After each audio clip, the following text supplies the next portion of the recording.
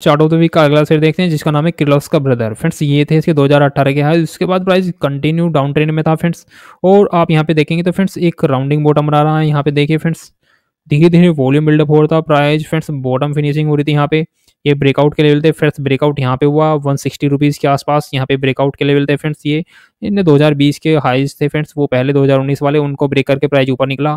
और उसके बाद से फ्रेंड्स देखिए, एक तरफ़ रनअप किया फ्रेंड्स और पाँच सौ रुपये तक के हाइस लगाए। इसने अपने जो दो हज़ार अट्ठारह वाले जो हाइस थे फ्रेंड्स उनको भी ब्रेक करके प्राइस ऊपर निकल गया था। उसके बाद प्राइस में करेक्शन करेक्शन में फ्रेंड्स इसने लॉस लगाए, ये थे दो रुपये के आसपास के।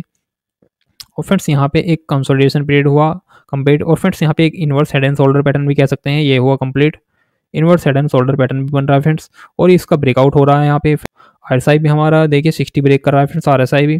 और फ्रेंड्स देखिए स्ट्रॉन्ग कैंडल के साथ में ऊपर क्लोजिंग आ चुकी है, नीचे वॉल्यूम बिल्डअप हो रहा है फ्रेंड्स हमारा स्टॉप लॉस का लेवल फ्रेंड्स यहाँ पे रख सकते हैं। पहले हमारा स्टॉप लॉस का लेवल यहाँ पे था।